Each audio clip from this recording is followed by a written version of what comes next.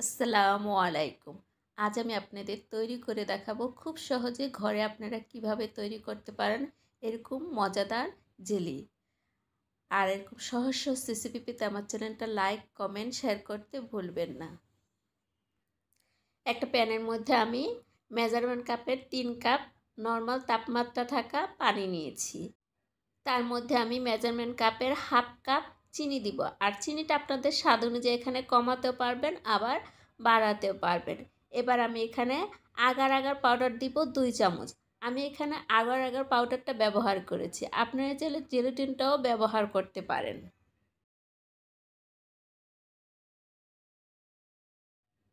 এবার আমি একটা স্পেশালের সাহায্যে সবগুলো উপকরণ একসাথে ভালো করে মিশিয়ে তারপরে প্যানটাকে আমি চুলার উপরে বসিয়ে দিব। তারপর আমি অনবরত নাড়তে থাকব। কোনো কারণে আর নাড়াটা বন্ধ করব না। নাড়াটা বন্ধ করলে প্যানের গায়ে লেগে যেতে পারে। আর এই পর্যায়ে চুলার আঁচটা হাইতে আছে। আমি হাইতে দিয়ে রান্না করব। যতক্ষণ পর্যন্ত পানিটা ফুটে না উঠছে, ততক্ষণ পর্যন্ত পানিটা দেখেন ফুটে উঠেছে। এখন আমি চুলার আঁচটা মিডিয়ামের চেয়ে কমিয়ে দিয়ে রান্না করব।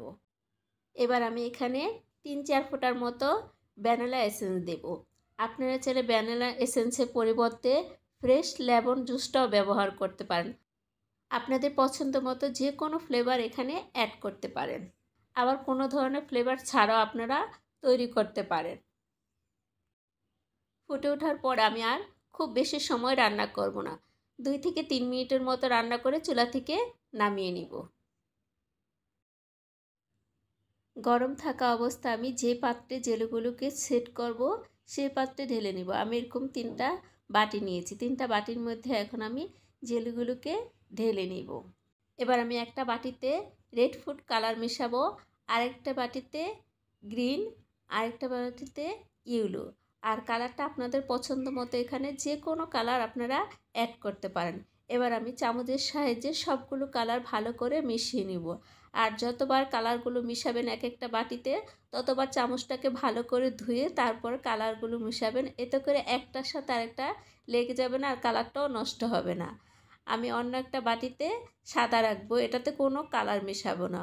উপরে শুধু আমি লেবুর উপরে স্কিন যে আছে তা দিয়ে দিব, দিয়ে আমি চামচের সাহায্যে ভালো করে মিশিয়ে নিব।